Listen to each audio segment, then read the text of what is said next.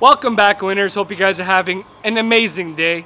I am your host, AM Aliubi, and welcome back to another AA meeting. Guys, if you haven't subscribed already, hit that subscribe button, hit the like button. Super thankful if you do. On this episode, we're going to talk about how to jig the most aggressive, the meanest, the most hard fighting fish in all of freshwater. That's right, the smallmouth bass. Let's get right into it. The game over? Oh my god, that was sick!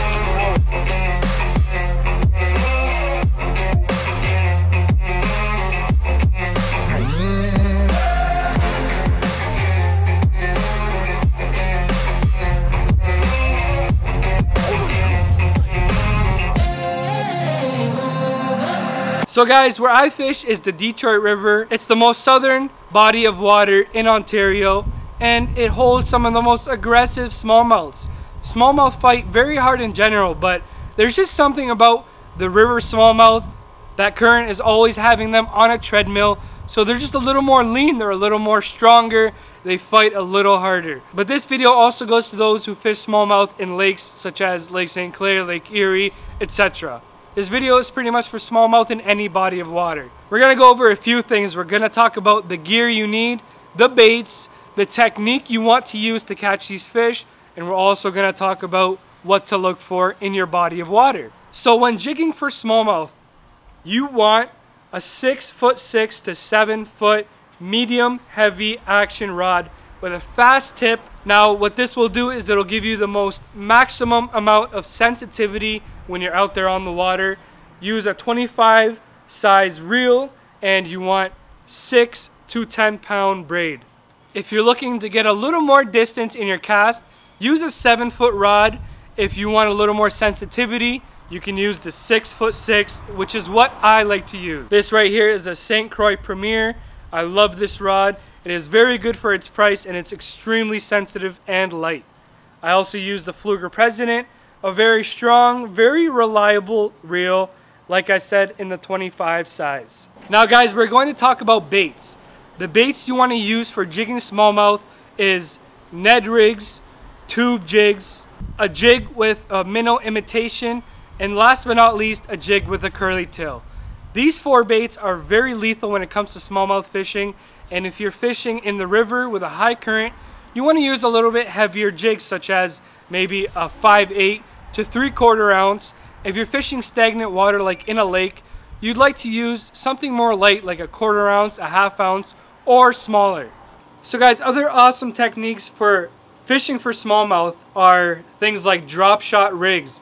Now drop shot rigs are some of my favorites. I know a lot of smallmouth anglers could agree because this presentation simply catches tons of smallmouth. Depending on the depth you're fishing and the amount of current in the body of water that you are fishing, that's going to decide the size of the weight you're going to use. Now, a drop shot rig is simply a weight at the bottom and then about 12 inches above, you're going to have a hook there. I like to use octopus hooks for my drop shot rigs. You could use any type of plastic, guys. I like little flimsy plastics like 4 inch worms, things that have tons of action and more preferably a bait that has action while it's stationary. So even if you're just keeping it still, that bait is still moving around. So guys, drop shot rigs can be used with the same rod that I mentioned earlier, the six foot six to seven foot medium heavies, except with a drop shot rig, you could want a more moderate action rod, something with a little more give. Now guys, something I really love to use is Goby imitation plastics. The reason being, the main course for smallmouth, other than crawfish, is a goby. I can't stress enough how much smallmouth love gobies. They go absolutely bananas for them. So guys, use your goby imitation plastics. I know Grumpy Baits makes some really nice ones. There's a lot of other bait manufacturers that make goby imitation baits. You could also implement things such as a bass jig, you know, the same jigs that you would toss for largemouth. Those work as well for smallmouth. Like I said, use something that is acceptable for your body of water if you're fishing deep water or a place with high currents such as the Detroit River or any other river, use a heavier bass jig. If you're fishing somewhere with stagnant water or you're fishing shallow water, obviously use a more lighter jig. So now let's talk about how to use this bait and the techniques. So guys, the technique today is simply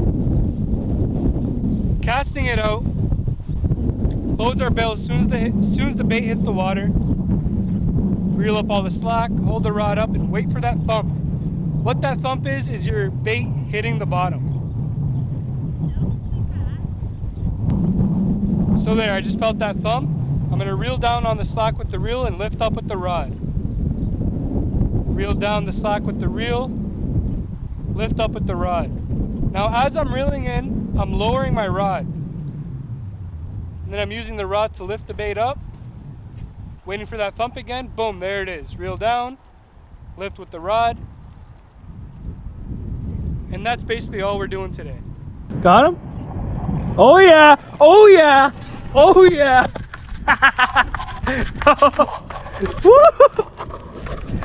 Is it not, you gonna flip that one? Yeah, flip her up. Flipper. I can. Hell yeah, brother. First smallmouth of the day here. Woo! Hold that up. Nice, brother. Right on the green tube, eh? Hell yeah. With that Domo jig. Come on. Open up. There we go. Get your rod up out of there. Nice catch, brother. Thanks, brother. Hell yeah. First smallmouth of the day here. One. First blood by Tom. Hell yeah. Beautiful fish, too. Oh, yeah. Nice one. All Nice, right. brother. Woo! Nice job, brother. Alright. Hell yeah.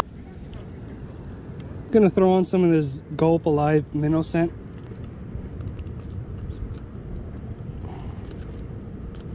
Alrighty. Oh, it's a nice smallmouth. Oh. Oh. Come on. Give him time. Bring him in. Oh. That was crazy. That was a fighter. He was a fighter, man. Nice. He come up. Every time he came up.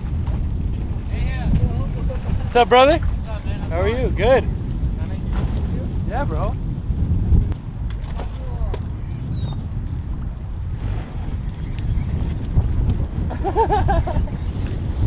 Check him out, guys.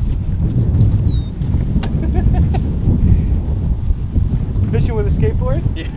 Awesome, bro.